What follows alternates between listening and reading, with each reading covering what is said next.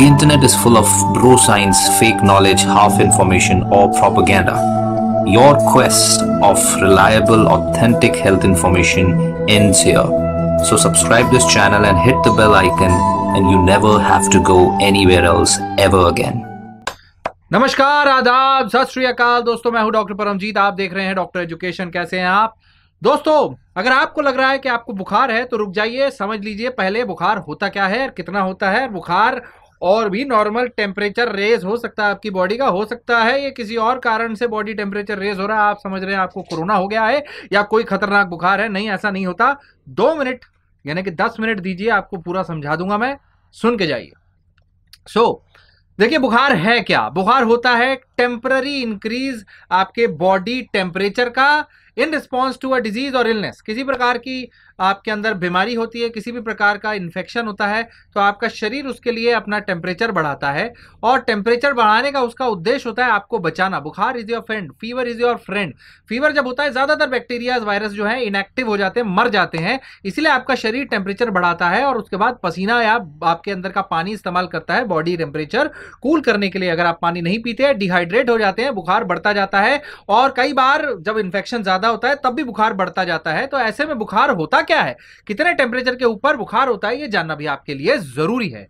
तो समझिए, बच्चे के लिए अलग है, बड़ों के लिए अलग है। बच्चे को अगर आप बुखार देख रहे हैं तो बच्चों का आपको जगह मैटर करती है। आप मुँह से देख रहे हैं, बगल में देख रहे हैं, या फिर लैट्रिन के रास्ते रेक्टली देख रहे हैं। तो यह, जी हाँ बहुत इंपॉर्टेंट है। ये तीनों में अलग अलग टेम्परेचर में बुखार माना जाता है बच्चों के इसमें। अगर आप उसको मुँह से देख रहे हैं तो 99.5 डिग्री फेरानाइट या फिर 97.37.5 डिग्री सेल्सियस 99.5 और 37.5 को, के ऊपर बुखार माना जाता है। और अगर आप आमपिट से देख रहे हैं तो 99 डिग्री फेरानाइट और 37.2 डिग्री सेल्सियस के ऊपर बुखार माना जाता है। और अगर आप रेक्टली देख रहे हैं तो 100.4 डिग्री फेरानाइट या 98 डिग्री सेल्सियस के ऊपर बुखार माना जाता है एडल्ट के लिए।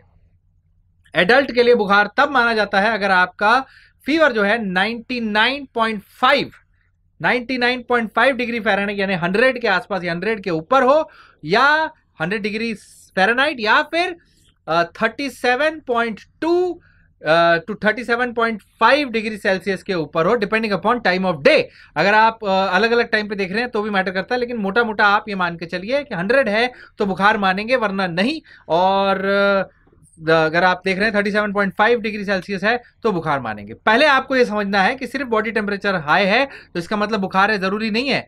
दिन में भी आपका ऊपर नीचे होता है, जब इवनिंग होती है टेम्परेचर राइज होता है। इवनिंग में टेम्परेचर राइज होता है बॉडी टेम्परेचर हाई रहता है। फीमेल्स का मेंस्ट्रुअल साइकिल के टाइम पे टेम्परेचर हाई रहता है। सेकेंड पार्ट ऑफ़ साइकिल के टाइम पे टेम्परेचर आपका एक डिग्री से ज़्यादा हाई रह सकता है। जी हाँ 99 से 100 हो सकता है 98 से 99 हो सकता है। और फ़िज़िकल एक्टिविटी से या स्ट्रॉन्ग इमोशन से, खाना खाने से हैवी क्लोथिंग पहनने से, गर्म कपड़े पहनने से, कुछ टाइप की दवाइयों से हाई रूम टेम्परेचर से हाई ह्यूमिडिटी से, इन सबसे आपका जो नॉर्मल बॉडी टेम्परेचर है, बढ़ सकता है। तो इन सबको मद्देनजर रखने के बाद इवन आपके पानी पीने के लिमिट से आप कम पानी पीते हैं तो भी आपका बॉडी टेम्परेचर हाई रह सकता है। डिहाइड्रेशन से आपका बॉडी टेम्परेचर बढ़ सकता है। इन सबको कंसिडर करने के बाद माना जाता है कि भाई आपको फीवर है क्या?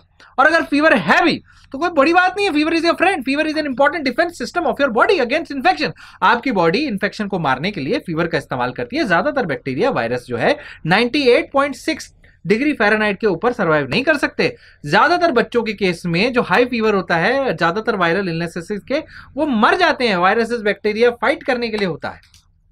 किंतु परंतु एक लेवल तक बॉडी आपका टेम्परेचर मेंटेन कर सकती है और एक लेवल तक उसको विडस्टैंड कर सकती है। बहुत ज़्यादा 104, 105, 107 डिग्री तक बुखार अगर हो जाए तो ब्रेन डैमेज हो सकता है। 107 डिग्री वन एक सौ डिग्री पे आपका ब्रेन लिटरली मेल्ट हो सकता है।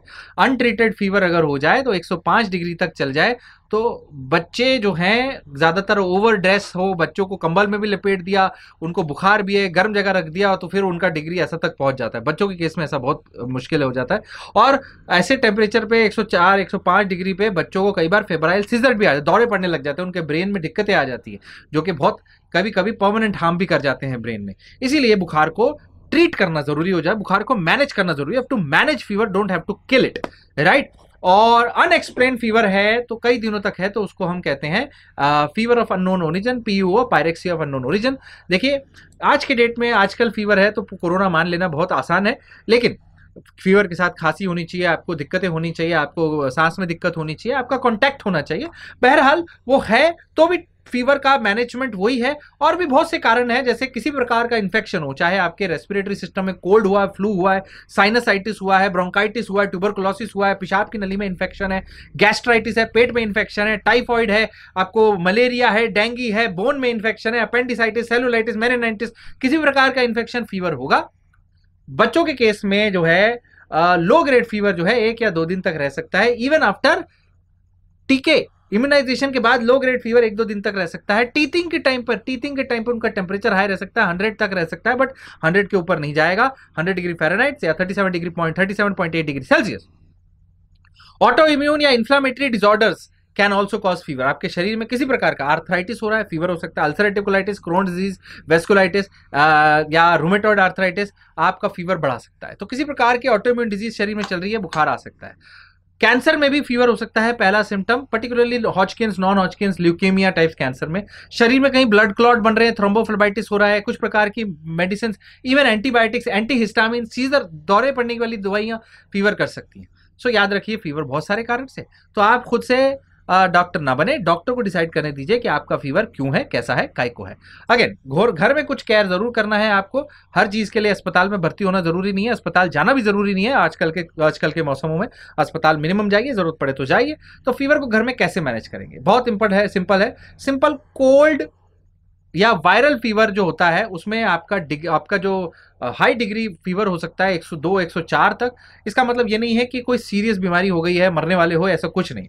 इवन कुछ सीरियस बीमारियों में लो डिग्री फीवर रह सकता है, ऐसा भी हो सकता है। तो डिग्री ऑफ़ फीवर से हम हमेशा इसको नहीं मान सकते कि क्या हुआ। हमेशा याद रखें फीवर के साथ क्या है? अगर उसके साथ सीरियस बीमारी हो रही है, सांस में दिक्कत हो रही है, किसी प्रकार के, मान लीजिए बच्चा खेल नहीं रहा, बच्चा खा नहीं रहा, उसका स्किन कलर चेंज हो रहा है, दौरे पड़ रहे हैं टेम्परेचर के अलावा उल्टियाँ आ रही हैं, पेट दुख रहा है तो ऐसी कोई चीज़ में ज़रूर आप डॉक्टर से बात करें, भर्ती करना तो भर्ती करें, लेकिन लेकिन अल्टीमेटली सिर्फ़ फीवर है तो घर में आपको कुछ सिंपल मैनेजमेंट करना है। फीवर को और कोई प्रॉब्लम नहीं है तो कोई खास ट्रीटमेंट नहीं, सिर्फ़ बहुत सारा पानी और रेस्ट बड़ा हो, बच्चा हो, बहुत सारा पानी और रेस्ट बड़ा हो, बच्चा, किसी भी बूढ़ा बूढ़ा, बहुत सारा पानी और रेस्ट बेसिक है उसका। पानी लीजिए लिक्विड लीजिए, चाहे नारियल पानी लो, चाहे नींबू पानी लो, चाहे छाछ लो, चाहे चाहे किसी प्रकार का लिक्विड ले लो इलेक्ट्रॉल ले लो ओआरएस ले लो डजेंट मैटर कंफर्टेबल इन्वायरमेंट रखना है थोड़ा ठंडा टेम्परेचर में रखना है गर्मी में नहीं रखना है राइट फीवर में सबसे बड़ा प्रॉब्लम हो जाता है डिहाइड्रेशन मैंने बनाया है वीडियो डिहाइड्रेशन पे। कुछ भी हो जाए डिहाइड्रेशन नहीं होना चाहिए। अनकंफर्टेबल फीलिंग हो सकती है वॉमिटिंग आ सकती है डायरिया हो सकता है राइट लेकिन डिहाइड्रेशन को अवॉइड करना है राइट किसी भी प्रकार से आ, कोई भी बच्चा है जिसको ठंड लग रही है उसको पूरा पूरा कम्बल लपेट मत लीजिए। उसको कवर कर सकते हो लेकिन बंडल नहीं करना है। कोई बहुत ज़्यादा एक्सेस क्लोदिंग है राइट फीवर को अगर कम करना है तो बहुत ज़्यादा एक्सेस क्लोदिंग को निकाल दीजिए। रूम शुड बी कंफर्टेबल ना सर, ना बहुत गर्म, ना बहुत ठंडा राइट सिर्फ़ एक या दो लेयर रखिए लाइट क्लोदिंग रखिए, बच्चे के ऊपर, बड़ों के ऊपर doesn't matter whatever it is right एक ल्यूक वॉर्म बात या स्पॉन्जिंग आप कर सकते हैं। बहुत ज़्यादा कोल्ड टेम्परेचर की स्पॉन्जिंग नहीं, और ठंडा ठंडा, बर्फीले पानी की स्पॉन्जिंग नहीं करनी। नॉर्मल से थोड़ा सा ठंडा आप स्पॉन्जिंग कर सकते हैं। कोल्ड बाथ या आइस या अल्कोहल रब्स नहीं यूज़ करेंगे। बच्चे में खासकर नहीं, बड़ों में आप माथे पर ठंडी पट्टियाँ रख सकते हैं, पूरी शरीर पर स्पॉन्जिंग के लिए ठंडा ठंडा नहीं यूज़ करना नॉट द बेस्ट आइडिया थोड़ा सा ठंडा रहेगा, चलेगा, एकदम बर्फीला पानी नहीं यूज़ करना है। उसके अलावा आप गाइडेंस क्या है, उसके अलावा दिक्कत लग रही है, बहुत ज़्यादा लग रहा है, बुखार, सौ क्रॉस हो गया, एक सौ एक क्रॉस हो गया, तब आप ले सकते हो अपने घर में पड़ी पैरासिटामॉल एसिटामाइनोफिन टाइनोनॉल ऐसी चीज़, ऐसी दवाएँ ले सकते हैं। बड़ों के लिए जो डोज होती है, वो होती है 650 650 mg और वे आप चार छः घंटे के इंटरवल में लिए जा सकते हैं। बच्चों के लिए डोज आप डॉक्टर से पूछिए। वज़न के हिसाब से डोज होता है। फ़ोन करके डॉक्टर से पूछ लेना, बेहतर होता है। चार से छः घंटे में ले सकते हैं इसको। उससे काम ना हो तो उसके साथ दूसरी आइबोप्रोफिन जैसी दवा या फिर मेफिनमिक एसिड मेफ्टाल जैसी दवाई आप ले सकते हैं। ये एडिशनल होती है। एस्पिरिन नहीं लेना है। एस्पिरिन बहुत ज़्यादा इफ़ेक्टिव होता है फीवर के लेकिन एस्पिरिन खून पतला करता है तो एस्पिरिन को अवॉइड करें, बिल्कुल ना लें। वो कई बार घातक सिद्ध हो सकती है। अगर डेंगू जैसा बुखार हो, जिसमें प्लेटलेट काउंट कम हो रहा हो तो वो ना करें। बच्चों के केस में रेगुलर चेकअप करें फीवर चार्टिंग करें मेक श्योर sure करें, बच्चे बूढ़े हों, कोई भी हों, खाना पानी ले रहे। Drinking and eating should be there और इसमें लिक्विड जितना हो सके, उतना लिक्विड दीजिए। जितना लिक्विड होगा, उतना बेहतर होगा, उतना अच्छा होगा। ऑल आर गुड ठंडा आइस पॉप से जैसे बर्फीली चीज़ें हैं जूसेस हैं, जो भी चीज़ें बच्चे को चाहिए, वो दे सकते हैं, कोई दिक्कत नहीं है। फ्रूट जितने मर्ज़ी दे सकते हैं, कोई प्रॉब्लम नहीं जितना अच्छे से लिक्विड खाएँगे, उतना जल्दी ठीक होंगे। याद रखिए फीवर में सबसे बेसिक ट्रीटमेंट है rest comfortable environment and lot of fluids and monitoring अगर आपको कोरोना का शक है तो उसके लिए सिर्फ़ अपना, जैसे हमने हमेशा बताया सैचुरेशन प्रोब से ऑक्सीजन सैचुरेशन सिम्टम्स और बुखार को मॉनिटर करिए और simple vitamin C omega three zinc और ऐसे सिंपल एक मल्टीविटामिन बिकासो बिकासूल जेड आती है या एक मल्टीविटामिन जिसमें ओमेगा थ्री भी है, ऐसी चीज़ें ले सकते हैं डॉक्टर से बात कर सकते हैं depending upon symptom to symptoms वो आपको मेडिसिन देंगे। फीवर से घबराना नहीं है फीवर हर फीवर कोरोना नहीं है, हर फीवर कोरोना नहीं है, हर फीवर कोरोना नहीं है। ये बोलते हुए वीडियो एंड कर रहा हूँ, ये बोलते हुए वीडियो शेयर कर दीजिए। Thank you so much stay connected stay healthy